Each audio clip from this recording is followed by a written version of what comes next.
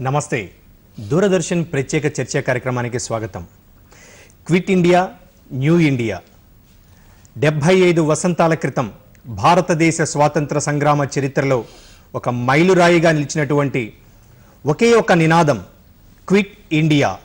మహాత్మా గాంధీ పిలుపు మేరకు అప్పుడున్నటువంటి ఆ సేతు హిమాచలం యావత్ భారతదేశ ప్రజలందరూ ఒక్క తాటి మీదకొచ్చి భారతీయులు భారతీయులు అసమర్థులు కారు తెల్లదొరలని తరిమి కొట్టడంలో సమర్థులు అనిపించుకున్నటువంటి ఒక మహా ఉద్యమ చరిత్ర.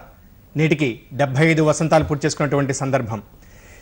ఈనాటి ఈ క్విట్ ఇండియా న్యూ ఇండియా అనేటటువంటి కార్యక్రమానికి పద్మశ్రీ కళాప్రపూర్ణ డాక్టర్ తుర్లపాటి కుటుంబరావు గారు అదేవిధంగా డాక్టర్ జి విజయం గారు ఇద్దరు కూడా మన స్టూడియోలో హాజరయ్యారు. వారిని అడిగి మరిన్ని వివరాలు తెలుసుకుందాం. నమస్తే డాక్టర్ కుటుంబరావు గారు. నమస్కారం అండి. సార్ నమస్తే విజయం గారు. నమస్తే నమస్తే. సార్ కుటుంబరావు గారు ఈరోజు నిజంగా చెప్పాలంటే మా తరానికి ఆ, చరిత్ర ద్వారా చరిత్రకారుల ద్వారా మీలాంటి పెద్దల ద్వారా తెలుసుకోవడం కానీ మీరు అప్పట్లో ప్రత్యక్షంగా చూశారు ఆ రోజున్న పరిస్థితుల్ని. తెల్లవాళ్ళ బానిసత్వం కింద నలిగిపోతున్నటువంటి అప్పటి భారత జాతిని ఒక్క తాటి మీదకి తీసుకురావడానికి మహాత్మా గాంధీ కావచ్చు అనేక మంది స్వాతంత్ర సమరయోధుల బలిదానాలు వాళ్ళ యొక్క అకుంఠిత దీక్ష. సో మీరు చెప్పండి క్విట్ ఇండియా ఈనాటికి డెబ్బై ఐదు వసంతాలు పూర్తి చేసుకుంటున్నారు ఈ సందర్భంలో. మీ అనుభవాలు ఏంటి ఈ క్విట్ ఇండియా మీద మీ జ్ఞాపకాలు ఏంటి అప్పటికి నాకు దాదాపు పన్నెండు సంవత్సరాల వయసు ఆ క్విట్ ఇండియాకి మూలం ఏమిటంటే అప్పటికే రెండవ ప్రపంచ యుద్ధం ప్రారంభమైంది. ఇండియా సహకారం కావాలి. ఇండియాని పరిపాలిస్తున్నటువంటి బ్రిటిష్ ప్రభుత్వానికి. కానీ భారతీయులంతా కూడా స్వాతంత్రం కావాలని అంతఃపురం నుంచి కూడా పోరాడుతున్నారు. కాబట్టి వీళ్ళని మంచి చేసుకుందామని ఏం చేసిందంటే బ్రిటిష్ ప్రభుత్వం సర్ స్టాఫర్డ్ క్రిప్స్ బ్రిటిష్ గవర్నమెంట్లో బోర్డ్ ఆఫ్ కంట్రోల్ చైర్మన్ మనం ఏమంటామంటే వాణిజ్య శాఖ మంత్రి. ఆయన పంపించింది ఒక ప్రత్యేకమైనటువంటి పథకంతో. ఆయన పంతొమ్మిది వందల నలభై రెండు మార్చి ఇరవై రెండున ఇండియా వచ్చాడు. ఏమిటి ఆయన పథకం? ఇండియాకి స్వాతంత్రం ఇస్తాము. అంటే పూర్తి స్వాతంత్రం కాదు. Dominion status. అంటే అధినివేశ ప్రతిపత్తి అంటాం. అది ఇస్తాము.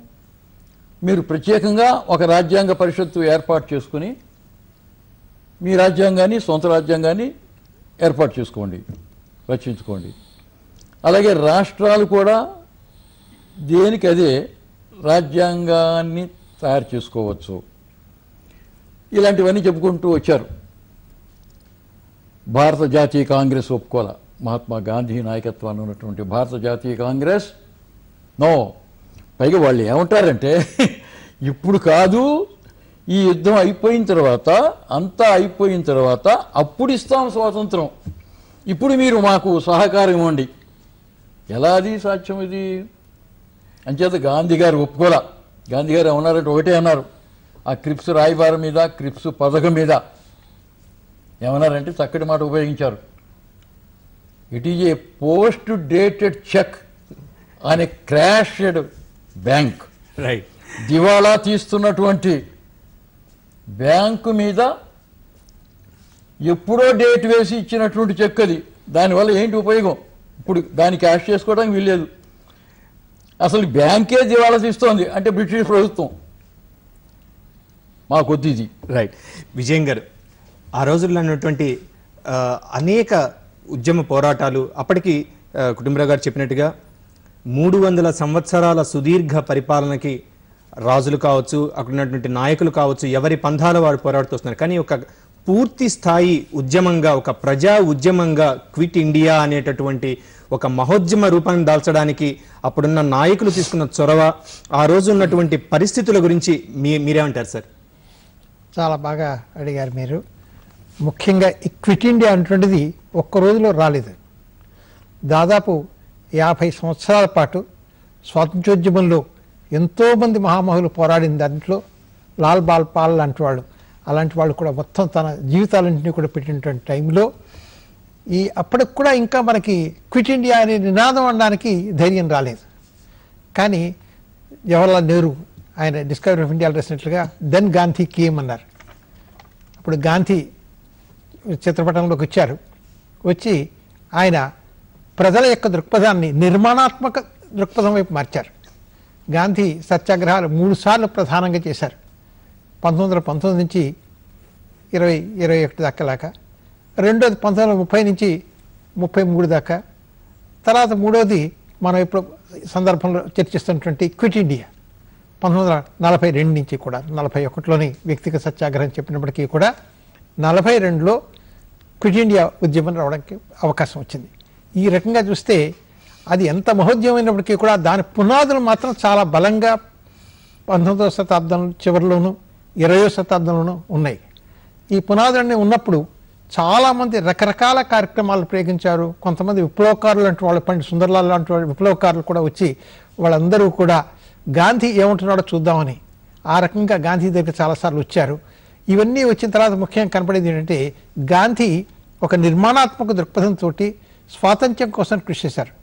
ఇంకో ముఖ్యమైన విషయం ఏంటంటే గాంధీ ఎప్పుడైతే జాతీయ నాయకుడయ్యాడో ఆయన పావలా సభ్యత్వం కూడా కాకుండా గాంధీ పంతొమ్మిది వందల ముప్పై నాలుగు తర్వాత ముప్పై ఐదులోను ఆయన ఇంకా కాంగ్రెస్లో మామూలు సభ్యులు ముప్పై నాలుగు బొంబాయి కాంగ్రెస్లో గాంధీ గారు నాకు ఇంకా పావలా సభ్యత్వం కూడా కాంగ్రెస్లో అక్కర్లేదు అని. వదిలేశారు. వదిలేశారండి. అంత వదిలిపెట్టినప్పటికీ కూడా అందరు నాయకులు కలిసి కూర్చున్నప్పటికీ ఎక్కడ కూర్చున్నప్పటికీ కూడా వాళ్ళందరూ వాళ్ళ నిర్ణయాలు చేయలేకపోయారు. చివరికి గాంధీ దగ్గరికి వెళ్ళారు సలహాలకు అడిగారు. చివరికి ఆయన క్విట్ ఇండియా అన్నారు. రైట్. కుటుంబరావు గారు ఈరోజు చూస్తే గాంధీ గారి ఒక ఆయుధం అహింస. ఆయన పూర్తిగా హింసను వ్యతిరేకించినటువంటి పద్ధతి కానీ ఆ రోజు నేతాజీ సుభాష్ చంద్రబోస్ కావచ్చు లేకుంటే అప్పుడు ఉన్నటువంటి కమ్యూనిస్ట్ నాయకులు కావచ్చు రకరకాల ఎవరి వాదన వాళ్ళు వినిపించారు. ఇది సరైన సమయం వాళ్ళ మీద గెరిల్లా యుద్ధం చేస్తే మనం లాభపడతామంటూ ప్రతిపాదించిన వాళ్ళు ఉన్నారు. లేదు బ్రిటిష్ ప్రభుత్వానికి ఒక లోపాయకారి ఒప్పందంగా ఈ రెండవ ప్రపంచ యుద్ధంలో మీకు సహాయం చేస్తాం. మీరు దానికి ప్రతిఫలంగా మాకు స్వాతంత్రాన్ని ఇవ్వండి అని ప్రతిపాదించిన వాళ్ళు ఉన్నారు. కానీ ఒక్క తాటి మీదకి దేశ ప్రజలందరినీ తీసుకురావడం అనేది ఎలా సాధ్యమైందంటారు? ఆయన అకుంఠిత దీక్ష వెనకున్న బలమైనటువంటి ఆ తార్కణం ఏంటి? ఆయన నాయకత్వ బలిమండి ఆయన ఏం చెప్తే అది చేసేవాళ్ళు ప్రజలు. ఆయన క్విట్ ఇండియా ఉద్యమంలో ఆయన ఇచ్చినటువంటి నినాదం డూ ఆర్ డై చెయ్య చేద్దాం లేకపోతే చద్దాం. మనం ఏదో చేసేయాల్సిందే. లేకపోతే చద్దాం. చావడానికి ఆయన సిద్ధంగా ఉందాం అని గాంధీ గారు పిలిపించారు. దానికోసం ఆయన ఏం చేశారంటే అసలు కారణం ఇంత పూర్వం చెప్పాను నేను. క్రిప్స్ మిషన్ ఫెయిల్ అయింది. అది విఫలమైంది. అది పనికిరాదని భారత జాతీయ కాంగ్రెస్ తిరస్కరించింది. సరే గాంధీ గారు ఆలోచించారు ఇంకా లాభం లేదు. వీళ్ళని ఇక్కడి నుంచి పొమ్మనాలి బ్రిటిష్ వాళ్ళని అని ఏఐసిసి సమావేశం ఏర్పాటు చేశారు? అఖిల భారత కాంగ్రెస్ కమిటీ సమావేశం. పంతొమ్మిది వందల నలభై రెండు ఆగస్టు ఎనిమిది తొమ్మిది తేదీల్లో బొంబాయిలో అప్పుడు గోవాలియా ట్యాంక్ మైదానం అనేవాళ్ళు. అక్కడ ఏఐసిసి సమావేశం జరిగింది. చాలా బ్రహ్మాండంగా జరిగింది. ఆనాటి గొప్ప నాయకులందరూ దానికి హాజరైనారు. అక్కడ మహాత్మా గాంధీ గారు ఈ నినాదం ఇచ్చారు. క్విట్ ఇండియా ఇండియాని వదిలిపెండి వదిలిపెట్టి వెళ్ళిపోండి. ఇది మా దేశాన్ని వదిలిపెట్టేయండి. మా రాజ్యాన్ని మాకు ఇచ్చేయండి అని నినాదం ఇచ్చారు. మహాత్మా గాంధీ. అంతేకాకుండా ఒకటే అన్నారు. మన ఊరికే ఏదో ఉద్యమం వెళ్ళిపోండి అంటాం కాదు. వాళ్ళు ఇచ్చేదాకా స్వాతంత్రం మనం పోరాడుదాం. లేకపోతే చద్దాం కానీ విజయన్ గారు అప్పట్లో. గవర్నర్ జనరల్గా ఉన్నటువంటి లార్డ్ లింగ్లిత్లో వాళ్ళు ఏకపక్ష నిర్ణయం తీసుకున్నారు. ప్రపంచ యుద్ధంలో భారతీయులను కూడా భాగస్వాములు చేయాలనే ఏకపక్ష నిర్ణయమే ఈ క్విట్ ఇండియానికి మూలం అనే వాళ్ళు కూడా ఉన్నారు. అంటే దాన్ని ఎలా చూడంటారు మన ఒక బలీయమైనటువంటి ఒక ఆకాంక్ష స్వాతంత్రం కావాలి అనే దాంట్లోంచి పుట్టినటువంటి ఒక మహోద్యమంగా చూడాలా? లేకుంటే బ్రిటిష్ పాలకుల యొక్క ఏకపక్ష నిర్ణయాల వల్ల పుట్టినటువంటి ఒక మహోద్యమంగా చూడాలా? దీన్ని ఎలా చూడాలి? అదొక కుతంత్రంగానే చూడాలండి. ఇంచేదంటే తుర్లపాటి గారు చెప్పారు ఇదివరకు ముఖ్యంగా పోస్ట్ చెక్ అనే క్రాషింగ్ బ్యాంక్ని. ఆయన వాళ్ళు చెప్పేటువంటిది ఎప్పుడు వాళ్ళ వాళ్ళు కనుక రెండో ప్రపంచ యుద్ధంలో గెలిచితే అప్పుడు మనకి కొంతవరకు స్వేచ్ఛ ఇవ్వడానికి ఆలోచిస్తూ ఉన్నారు. దీంట్లో ఈ నిప్పులు బట్టలు ఉన్నట్లయితే అది సరైనటువంటిది కాదు. తర్వాత గాంధీకి బలం మనకి ప్రజలు ఆయన ప్రజల గురించి పూర్తి అవకాశం ముఖ్యంగా గాంధీ చేసిన ఉద్యమాలన్నీ కూడా గ్రామాల్లోకి వెళ్ళిపోయాయి. గాంధీ రానంత వరకు కూడా పట్టణాలకు పరిమితమైనటువంటి కాంగ్రెస్ ఉద్యమం అది జాతీయోద్యమంగా మారడానికి గాంధీ వచ్చిన తర్వాత జరిగింది. అంచేతనే చాలామంది కాలినడకన చాలా దూరం నడిచి చాలా పోరాటాలు జరిపిన పెద్ద పెద్ద వ్యక్తులందరూ కూడా అది పంజాబ్లో కావచ్చు జలియన్ వాలాబాగ్ విషయంలో కావచ్చు ఇంకో దాంట్లో కావచ్చు అన్నిట్లో కూడా చాలా గట్టిగా గాంధీ తరఫునే ఉన్నారండి. ఇది ఆయన యొక్క అహింసాత్మక విధానం. యావత్తు దేశం గాంధీ యావత్ దేశంతో ఉంది.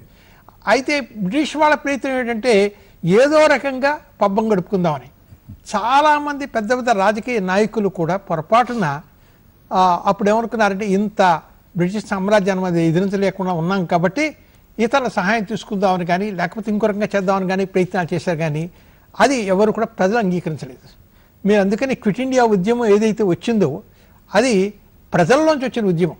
రైట్ తొలిపాటి గారు ఈ క్విట్ ఇండియా ఉద్యమంలో సహాయ నిరాకరణ అనేటటువంటి ఒక గొప్ప నినాదాన్ని సత్యాగ్రహం అనే ఒక ఆయుధాన్ని ఆనాటి గాంధీ మహాత్ములు ప్రస్- ప్రస్తావించిన రోజుల్లో వాటిల్ని కూడా అహింసా పద్ధతిలో స్వాతంత్ర సిద్ధి అనేటటువంటి ఒక లక్ష్య సాధన కోసం పనిచేస్తున్న ఆ రోజుల్లో ఇవన్నీ కూడా కాలం చెల్లినటువంటివి వీటి ద్వారా స్వాతంత్ర సిద్ధి జరగదు అని వ్యతిరేకించిన వాళ్ళు ఉన్నారు. అది కమ్యూనిస్టులు కావచ్చు లేకుంటే సుభాష్ చంద్రబోస్ లాంటి వాళ్ళు కావచ్చు. మరీ ముఖ్యంగా అప్పుడు సావర్కర్ లాంటి చాలా గొప్ప పోరాట యోధులు వారిని ఏం మాత్రం మనం తక్కువ చేయలేం. అటువంటి వాళ్ళు కావచ్చు. వీళ్ళందరి అంటే ఎవరి ఆలోచన తీరు ఏ విధంగా ఉన్నా అంతిమ లక్ష్యం మాత్రం స్వతంత్ర భారతదేశం. సో వీళ్ళందరినీ సమన్వయపరచడంలో గాంధీ గారి చొరవ ఎటువంటిది? ఆయన నాయకత్వం గొప్పతనమేనండి అది. అంతఃపూర్వం ఏంటంటే కాంగ్రెస్ ఏవో తీర్మానాలు చేసి పంపించేది. అసలు కాంగ్రెస్కి పోరాట పటిమని నేర్పినటువంటి వాడు మహాత్మా గాంధీ. అది ఆ పోరాటం ఎలాంటిది? సాయుధ పోరాటం కాదు. అంత పూర్వం జరిగినటువంటి పద్దెనిమిది వందల యాభై ఏడు ప్రథమ భారత స్వాతంత్ర సమరం సాయుధ పోరాటం అది. కానీ ఇది పూర్తిగా విఫలమైపోయింది. దేశం చాలా నష్టపడింది. అంచేత మహాత్మా గాంధీ అహింసాయుతంగానే వాళ్ళతో పోరాడతాం పోరాడదాం మనం అని ఈయన ఆ ఉద్యమాన్ని అంటే అప్పట్లో వినాయక్ దామోదర్ సావర్కర్ గారు స్టిక్ టు యువర్ పోస్ట్ మీరు ఎవరు? మీ పోస్టులను వదిలిపెట్టద్దు మీ ఉద్యోగాలను వదిలిపెట్టద్దు అంటూ ఆయన బహిరంగంగా పిలిపించినటువంటి సందర్భం. కానీ ఇవేవీ లెక్క చేయకుండా యావత్ ప్రపంచం యావత్ భారతదేశం మొత్తం గాంధీ గారి వెనక నడిచినటువంటి పరిస్థితి. సో ఈ ఇటువంటి మహా ఉద్యమానికి అసలు ఆలోచన దానికి ఒక స్ఫూర్తి ఎక్కడి నుంచి వచ్చిందని భావించవచ్చు మనం? అది కేవలం ప్రజల నుంచేనా?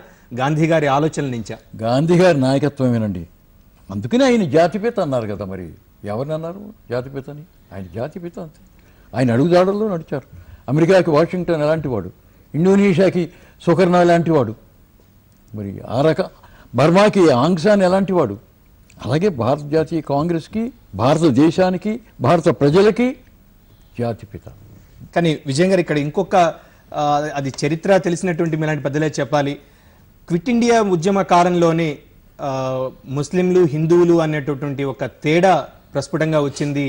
పాకిస్తాన్ వేరుగా కావడానికి కానీ లేకుంటే వీళ్ళు మైనారిటీలు వీళ్ళు మెజారిటీలు అన్న ఒక భావన వాళ్ళలో ఎంటర్ అయింది. ఎందుకంటే నాయకత్వంలో ఉన్న ఏక పోకడలే ఏకత్వ పోకడలే అనే ఒక విమర్శ ఉంది. దీన్ని మనం ఎలా చూడాలి?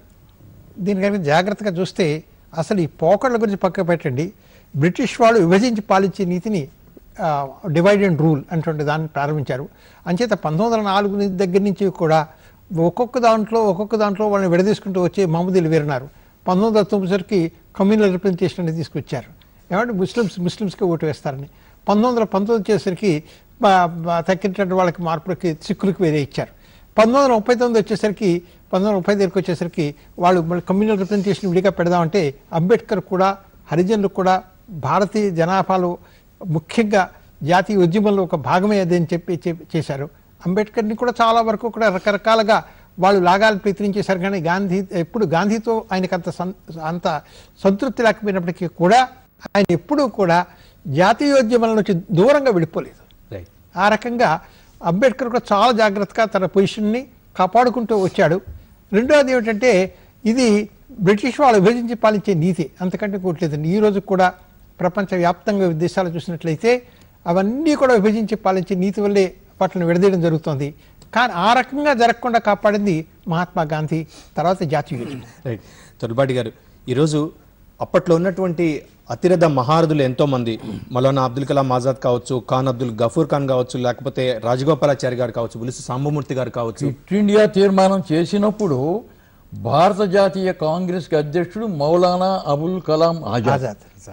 రైట్ సో వీళ్ళందరూ కూడా అప్పట్లో పండిట్ జవహర్లాల్ నెహ్రూ గారు పంతొమ్మిది నలభై రెండు జూలై ఎనిమిదిన రాసినటువంటి లేఖకి అప్పుడు అలామా మష్రీ తను జవాబిస్తూ ఈ సహాయ నిరాకరణ అనేది ఒక ప్రీమెచ్యూర్ ఇది ఒక అంతగా పరిపక్వత లేని అంశంగా ఆయన అభివర్ణించినటువంటి పరిస్థితి. ఆ పరిపక్వత లేని అంశం ఒక మహోద్యమ రూపంగా మారి తరువాత భావి తరాలకు ఇప్పటికీ దిశానిర్దేశకం అవుతుందనడంలో సందేహం లేదు కదా సార్? ఏమీ లేదండి. సందేహం ఏమీ లేదు అది. రైట్ అంటే ఆ ఉద్యమ కాలాన్ని అప్పుడు ఎలా నిర్వచించవచ్చు మనం? అంటే అక్కడ నాయకుల మధ్య సమన్వయ లేమిగా చూడాలా? లేకుంటే ఒక జనరల్ ప్రాసెస్లో ఏమైందంటే క్విట్ ఇండియా తీర్మానం చేయంగానే భారత జాతీయ కాంగ్రెస్ పంతొమ్మిది వందల నలభై రెండు ఆగస్టు తొమ్మిదిన సరిగ్గా ఈ రోజున నాయకులందరినీ అరెస్ట్ చేశారు. ఇళ్ళకి చేరకపోవడమే వాళ్ళు బొంబాయి నుంచి. వాళ్ళందరినీ కూడా అరెస్ట్ చేశారు నాయకులందరినీ. ఇక్కడ ఆంధ్రాలో టంగుటూరు ప్రకాశం గారు డాక్టర్ పట్టాభి గారు కళా వెంకట్రావు గారు ఐదేవరి కాళేశ్వరరావు గారు దేశభక్త కొండా వెంకటప్పయ్య గారు ఇలాంటి నాయకులందరినీ మహానాయకులందరినీ అరెస్ట్ చేశారు. అలా జాతీయ స్థాయిలో సర్దార్ పటేల్ జవహర్లాల్ నెహ్రూ రాజేంద్ర ప్రసాద్ మౌలానా ఆజాద్ మహాత్మా గాంధీ నాయకులందరినీ కూడా అరెస్ట్ చేశారు. చివరికి ప్రజల ప్రజలే నాయకత్వం తీసుకోవాల్సి వచ్చింది. అంత పూర్వం ఒక ఒక ఆసక్తికరమైనటువంటి విషయం జరిగింది.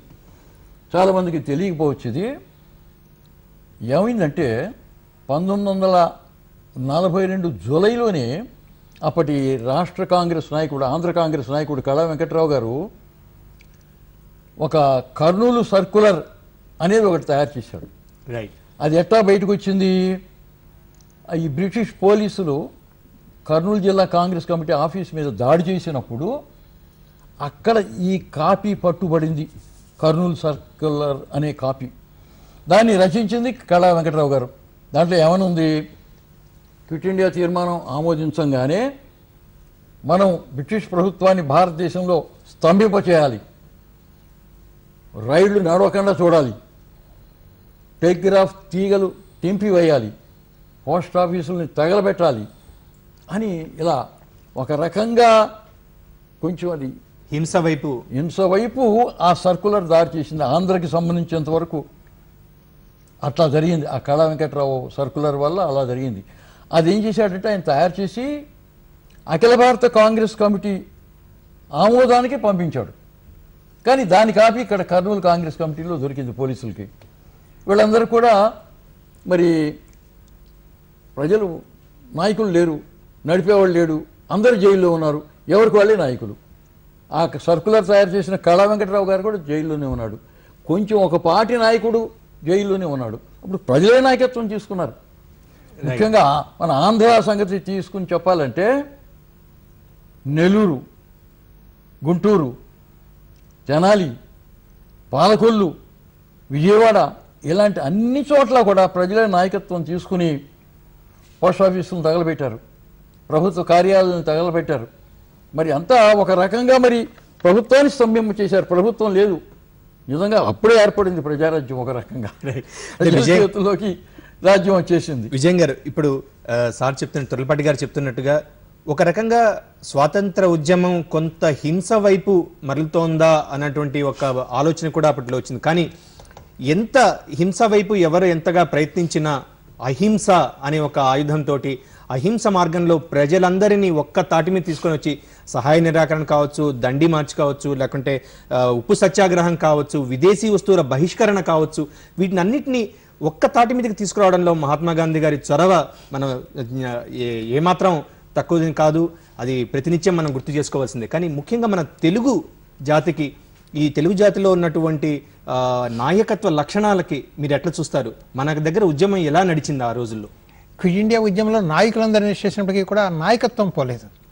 ముఖ్యంగా స్త్రీలు చాలా ముందుకు వచ్చారని అంతవరకు ఇప్పుడు ఉద్యమంలో అంత ఎక్కువ మంది స్త్రీలు పాల్గొలేదు రెండో ప్రపంచ యుద్ధం ఒక పక్క జరుగుతున్నప్పటికీ కూడా ఎక్కువ మంది స్త్రీలంతా బయటకు వచ్చి జాతీయోద్యమంలో ప్రధాన పాత్ర వహించి సమాజాన్ని ముందు అప్పటి సామాజిక పరిస్థితుల దృష్ట్యా స్త్రీలు బయటకు వచ్చేవాళ్ళు కాదు. బయటకు వచ్చేవాళ్ళు కాదు. కానీ దక్షిణ భారతదేశంలో ముఖ్యంగా చాలా ఎక్కువ మంది పాల్గొన్నారు. అలాగే ఉత్తర హిందుస్థాన్లో కూడా కొన్ని చోట్ల చాలా ఎక్కువ మంది పాల్గొన్నారు. ఈ రకంగా ప్రజల్లో చైతన్యం తీసుకొచ్చి ఒక ఆల్టర్నేటివ్ లీడర్షిప్ని తీసుకొచ్చారండి.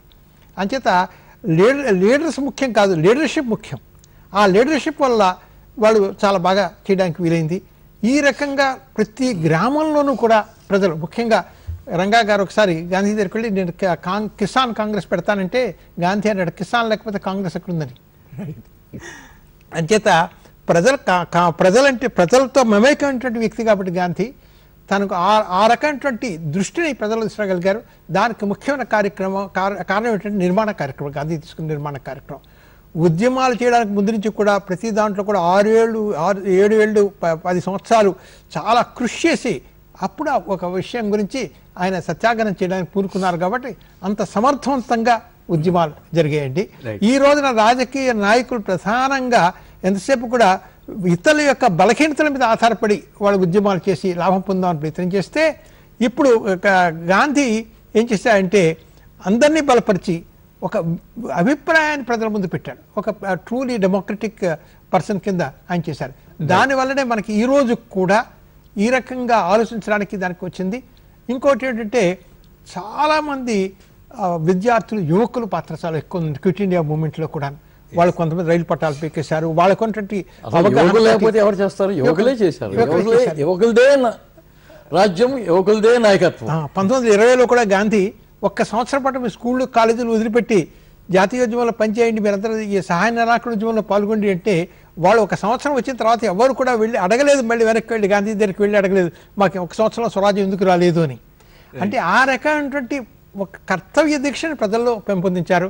ఈ రోజున రాజకీయ పార్టీల్లో వాటిల్లో వచ్చిన సమస్య ఏమిటంటే వాడు ఇతరుల బలహీనతల మీద ఆధారపడి పైకొద్దామని ప్రయత్నం సరే ఇట్స్ చేస్తున్నారు. వ్యాలిడ్ పాయింట్ తుర్లపాటి గారు ఈరోజు విజయం గారు చెప్తున్నట్టుగా నేటి రాజకీయ పార్టీలు ఎదుటి వాళ్ళ బలహీనతల మీద మాట్లాడుతున్నారు తప్ప వాళ్ళ స్వశక్తి మీద ప్రజలకు తామేం చేస్తామో చెప్పట్లేదు అనేటువంటిది ఇక ముఖ్యంగా ఈరోజు సుదీర్ఘ ప్రసంగం పార్లమెంట్లో ప్రధాని నరేంద్ర మోదీ గారు చేసిన ప్రసంగం చూస్తే ఇప్పటిదాకా మనం స్కామ్ భారతాన్ని చూసాం ఇక న్యూ ఇండియా న్యూ డెమోక్రసీ ఈ అసలు పరిపూర్ణ భారతదేశానికి చూడబోతున్నాం అని చెప్పారు. ఈ న్యూ ఇండియా కాన్సెప్ట్ మనం తీసుకొస్తున్నాం చూశారు. కానీ ఇక్కడ ఒక చిన్న సందేహం ప్రజల్లో కూడా ఉంది. ఆనాడు ఆర్ఎస్ఎస్ కూడా ఈ క్విట్ ఇండియా కావచ్చు సహాయ నిరాకరణ ఉద్యమాన్ని కావచ్చు అంటే వాళ్ళు సమస్యను తీసుకుంటే భారతదేశ స్వాతంత్రానికి అనుకూలమే కానీ ఈ క్విట్ ఇండియా అండ్ సహాయ నిరాకరణకి వాళ్ళు వ్యతిరేకమైనటువంటి పదాలను కూడా మనం చరిత్రలో చదివాం. సో అటువంటి భావజాలం కలిగినటువంటి పార్టీ ఈరోజు వాళ్ళ స్టాండ్స్ మార్చుకుంది అనుకోవాలా లేకుంటే కొత్తదనం వైపు అడుగులేస్తోంది అనుకోవాలా ఎలా చూడాలి ఈ పరిస్థితిని? ఒకటండి భిన్నాభిప్రాయాలు ఉండొచ్చండి. భిన్నాభిప్రాయాలు దానివల్ల అది డిసెంట్ అంటున్నది ఎప్పుడు సమాజంలో మంచి చేస్తుంది కానీ చెడు చేయదు. అయితే నిర్మాణాత్మకంగా సృజనాత్మకంగా పనిచేసేటువంటి డిసెంట్ అయినట్లయితే అది తప్పనిసరిగా సమాజాన్ని మరింత బలపరచడానికి ఉపయోగపడుతుంది. డిస్కషన్ జరిగేటప్పుడు రకరకాల వ్యూ పాయింట్స్ మనం పెడతాం. దాంట్లో చివరికి ఏది మంచిది అనుకుంటామో దాన్ని చూసుకోవాలి రైట్ ఆ రకమైనటువంటి కార్యక్రమాలు లేకపోవడం వల్లే ఈ రోజున మన రాజకీయ వ్యవస్థలో చాలా ఇబ్బంది వస్తుందండి. ఇప్పుడు మనం స్వరాజ్యం నుంచి స్వరాజ్యం వైపు వెళ్ళవలసినటువంటి ఆవశ్యకత తప్పకుండా ఉంది. దానికోసం ప్రయత్నం చేయాలి అంటే ముందు మనం చేస్తుంటే రాజనీతిజ్ఞతను ప్రదర్శించాలి కానీ రాజకీయాల మీదే ఆధారపడకూడదని గారు మీరు ఎలా స్పందిస్తారు? నేటి ప్రస్తుత రాజకీయాలపైన ప్రధాని మోదీ గారి ఆలోచనల మీద ఆనాటి ఉద్యమ స్ఫూర్తికి ఈనాటి న్యూ ఇండియా కాన్సెప్ట్కి మనకి ఎంతవరకు ఒక పరిష్కారం ఉంటుంది ఇది భవిష్యత్తు తరాలకి ఎటువంటి స్ఫూర్తిదాయకం? ఏమీ సందేహం లేదండి. ప్రధాని నరేంద్ర మోడీ నవభారతాన్ని నిర్మించాలి అనేటువంటి కృషి ప్రారంభించారు. ఆ లక్షణాలు ఆ ఫలితాలు చాలా వరకు ఈ మూడు సంవత్సరాల్లోనే మనకు కనిపించాయి.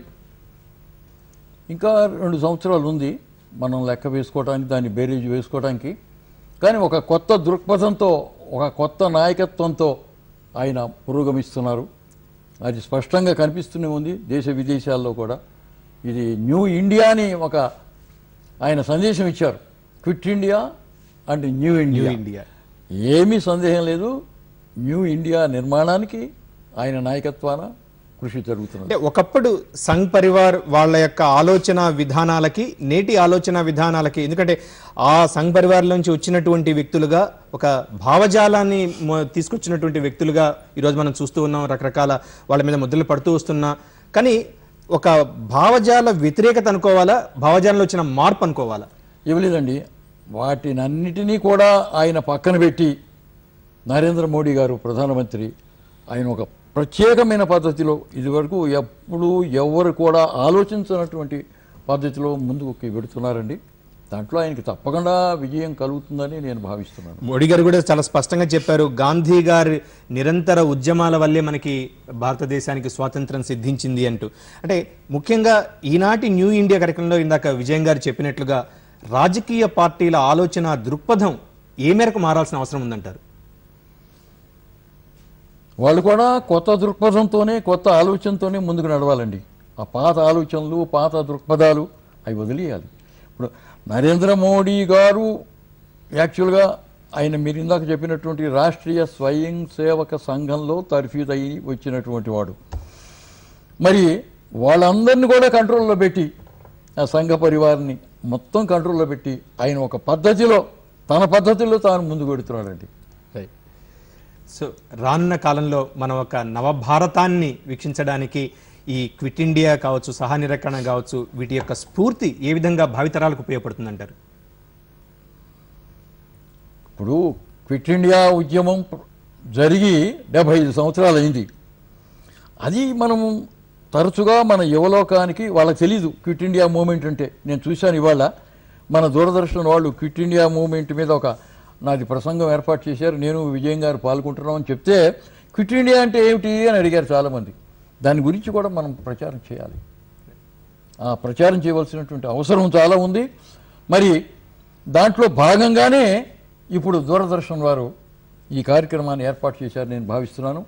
ఇందుకు దూరదర్శన్ని నేను హృదయపూర్వకంగా అభినందిస్తాను ధన్యవాదాలు. విజయం గారు మీరు చెప్పండి ఈనాటి ఈ యొక్క నవతరానికి ఇందాక ఇప్పుడు గురుగారు కుటుంబరావు గారు చెప్తున్నట్టుగా తొలిపాటి గారు చెప్తున్నట్టుగా ఈ నవతరంలో భావితరాల అంటే అంతకుముందు మన వాళ్ళు చేసినటువంటి త్యాగాలు వాళ్ళ బలిదానాలు ఇవన్నీ కూడా మనం ఏమాత్రం మర్చిపోవడానికి వీల్లేదు. భావితరాలకు సజీవంగా అందించాలి అంటే పాఠ్యాంశాలుగా కేవలం ఒక మార్కులు వేసేటటువంటి ఒక పాఠ్యాంశాలుగా కాకుండా వాళ్ళలో దేశభక్తిని పెంపొందించే విధంగా ఎటువంటి కార్యక్రమాలు చేపట్టాలి. ముఖ్యంగా ఈ రోజున మనం ప్రజలందరినీ సమానంగా చూడాలండి. కులం ప్రాతిపదిక మీద కానీ మతం ప్రాతిపదిక మీద కానీ ఇక ప్రాంతీయ తత్వంగా కానీ అలా చేయడం వల్ల సమాజంలో విఘటన శక్తులు పెరుగుతున్నాయి. దాని బదులు మనకు కావాల్సిందంటే ఒక లౌకిక దృక్పథంతో మనం ఆలోచించి ఎప్పుడైతే చేస్తామో ప్రజలకు మేలు జరిగేదానికి వాళ్ళకి ఓట్లు వేయడానికి సిద్ధంగా ఉన్నారు. ఆ రకంగా ఒక విశాల భావాలతో చేసేటువంటి వాళ్ళు. అది అది చాలా ముఖ్యమైన విషయం. ఈ రోజున మనకు కావాల్సిన రాజకీయ నాయకులు కాదు రాజనీతిజ్ఞులు ఉన్నటువంటి రాజనీతిజ్ఞులు కావాలి మనకి. ఆ రకంగా ఎప్పుడైతే చేస్తామో క్విట్ ఇండియా లాంటివి మనకి చాలా స్ఫూర్తినిచ్చేటువంటి విషయాలు. రైట్ అది మొత్తం మన భా ప్రపంచంలో తక్కిన దేశాలన్నింటిలోనూ ఎన్నో చోట్ల ప్రజాస్వామికాలు వచ్చి పతనం అయిపోయాయి. కానీ భారతదేశంలో ఎందుకు ప్రజాస్వామికం ఇంతకాలం నిలిచింది అంటే మనం చూసినట్లయితే దానికి ముఖ్యమైన కారణం మహాత్మా గాంధీ ఇచ్చినటువంటి ఒక విశాలమైనటువంటి దృక్పథం. దృక్పథం. కుల మతాలను కానీ ఇంకోటి కానీ వాటిని బట్టి గౌరవించగలదు. క్విట్ ఇండియా ఉద్యమంలో పాల్గొన్న వాళ్ళు కానీ అంతకు ముందు పాల్గొన్న వాళ్ళు కానీ ఎవరు ఉద్యమాల గురించి ఆలోచించలేదు. వాళ్ళు ఆలోచించింది ఏంటంటే సమాజంలో మార్పు తీసుకొద్దాం అనుకున్నారు. ఆ రకంగా మార్పు వైపు మనక మనక థ్రస్ట్ ఇచ్చినట్లయితే తప్పకుండా ప్రధానమైనటువంటి మార్పు వస్తాయి. సమాజం నిరంతరం మార్పు రావాలని కోరుకున్నాను సార్. చాలా ఫైనల్గా ఒక చిన్న కంక్లూజన్ ఎందుకంటే డెబ్బై సంవత్సరాల సుదీర్ఘ పాత్రికేయ అనుభవం ఉన్నటువంటి మీరు ఈనాటి నూట ఇరవై ఐదు సంవత్సరాల ఘన చరిత్ర కలిగిన కాంగ్రెస్ భవిష్యత్తును ఎలా నిర్దేశిస్తారు మీరు? నేను అనుకోవటం ఏంటంటే కాంగ్రెస్కి నాయకత్వ లోపం ఏర్పడిందండి. అందులో ఏమీ సందేహం లేదు. మరి ఏమి జరుగుతుందో చూడాలి భవిష్యత్తులో. ఇప్పుడు కాంగ్రెస్కి సరైనటువంటి నాయకత్వం లేకపోవడం వల్లనే అది బాగా దెబ్బతిన్నది. రెండు వేల పద్నాలుగు ఎలక్షన్స్లో పెద్ద దెబ్బతిన్నది.